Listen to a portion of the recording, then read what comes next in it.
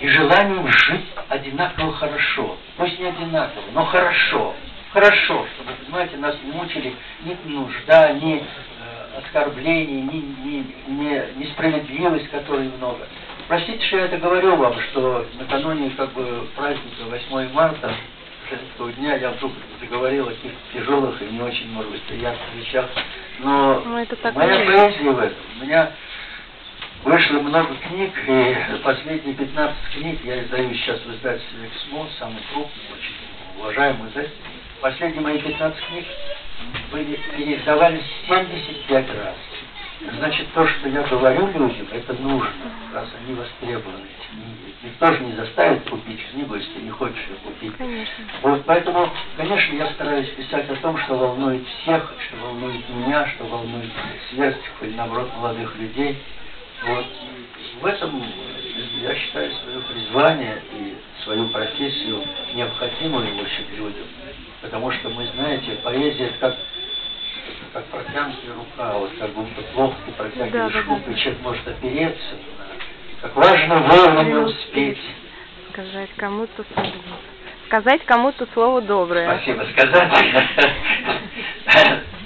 сказать кому-то слово доброе, что От волнения волнение сердце сердца дрогнуло. Все порушить может смерть.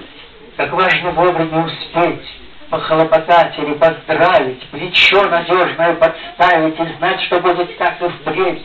Но забываем мы подчас исполнить чью-то просьбу вовремя, не замечая, как обида кровная незримо отчуждает нас, и запоздалая вина потом терзает терзает наши души.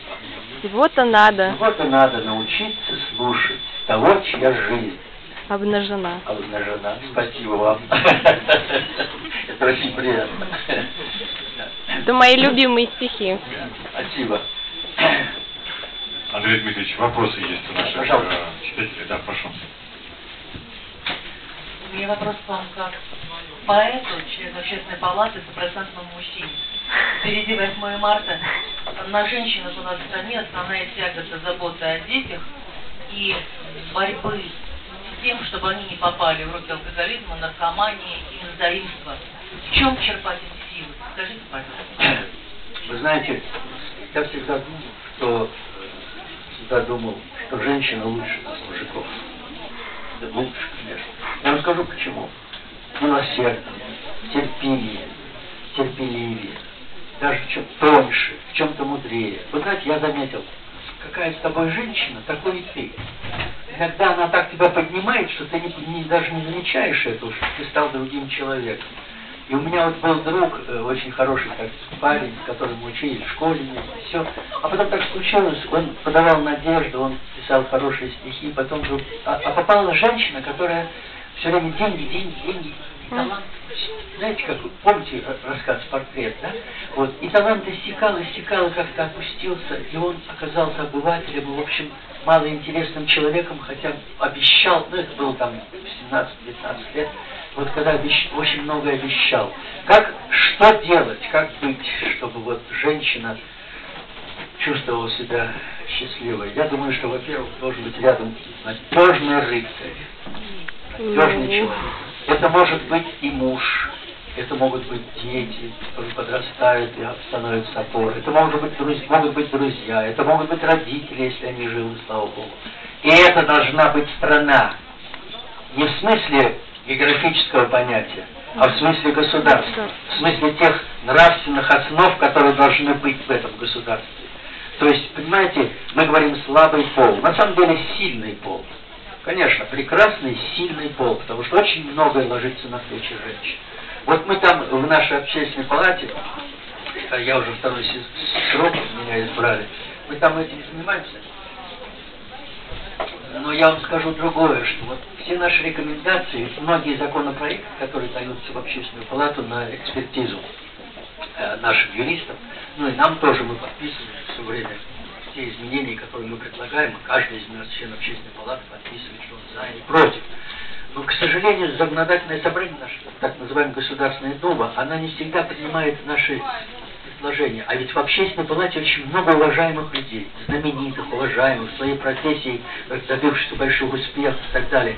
К сожалению, иногда Иногда наше законодательство не понимает, наверное, не знаю, в чем. Но когда вот сейчас я, когда я сейчас вдруг прочитал, что, значит, наше э, там, руководство, законодатели наши решили устранить сертификацию государственную на продукты, это опасно очень. Имейте в виду, почему опасно? Потому что очень много подделок. Если у нас в России каждый год гибнет 25 тысяч от поддельного алкоголя, то продукты, которые будут не сертифицированы государством, будут сертифицированы теми производителями, которые их делают, которые, после, которые их продают, вы понимаете, есть опасность, что здоровье нации будет ухудшаться, потому что экология плохая, продукты, как говорится, могут быть плохими, выпивка, а что говорит-то, ну пьет же у нас в России, значит, э, тоже это все очень плохо скажется, очень плохо скажется.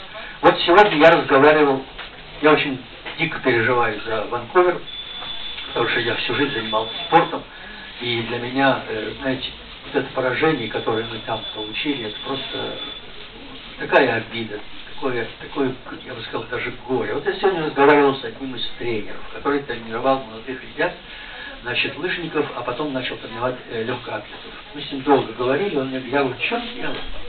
Он говорит, вы знаете, в чем дело? Вот я тренер. Я работал за полторы ставки я получал 6 тысяч рублей. Ну как я могу вот жить? И я ушел. И многие, я знаю, что многие уходят. Мало того, говорят, вот у нас, когда дети, вот в те времена еще, не, не так, особенно далекие, там не очень далекие, когда у нас, говорит, лыжников на трассу выходило по 150 детей, сейчас уже уходит 15. У нас нет основ, основ материальных и всех заинтересованностей государства, у нас нет тех вложений, которые должны быть в спорт. Это не, ведь спорт не просто достижение медали. Нет, это как вершина. Спорт – это здоровье, физическая культура, которая должна быть э, на такой высоте и, и так культивироваться, чтобы люди росли здоровыми. Вот это проблема, к сожалению. У нас так много проблем, что я даже не знаю, нам хватать, чтобы вытащить хвост. Да.